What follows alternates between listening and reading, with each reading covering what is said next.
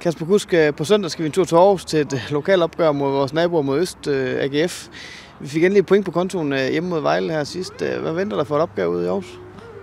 Jeg tænker, det bliver en svær kamp. Altså AGF, de, de er svære at spille imod, og de er gode fysisk. Og det er før problemer med, men jeg synes, at især sidste kamp ude i Aarhus, der, der spillede vi en rigtig god kamp og havde også fortjent at få en sejr. Så, så jeg regner med, at vi ser noget godt spil for os, og så forhåbentlig mål. Ja, det er jo noget tid siden, vi har spillet mod dem, og der er jo sket meget på begge hold. Øh, Forventer du, det bliver samme? øh, De var lidt mere defensivt indstillet sidste gang. Forventer du, det bliver det samme kampbillede denne gang? Ja, så gør det måske. Altså, det kan godt være, at de overlader lidt den tid til os, og så prøver at ja, slå os på nogle dødbold eller noget, men, men ja, vi skal bare spille vores eget spil, og så gå ud og spille frit, og så bare have en glæde ved at, ved at, ved at spille, så, så skal nok gå det hele. Og så har du øh, haft øh, næst sidste fod på, på, et par, øh, på par mål her på det seneste. Hvordan er det at være sådan øh, kampafgørende her på det sidste?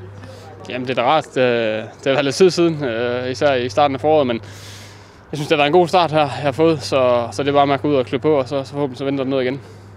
Og så til sidst er der jo tradition for, at øh, der er rimelig mange SIF-tilhængere i Aarhus også. Øh, Ser du frem til, til en stor bakning derude også? Ja, ja, det bliver da fedt at, at se, uh, se den opbakning, som, som kommer, ikke? og vi håber da bare på, at uh, der kommer mange, og de giver os uh, den opbakning, vi synes vi også, vi har fortjent. Altså, vi kan forhåbentlig give dem en, en god oplevelse også.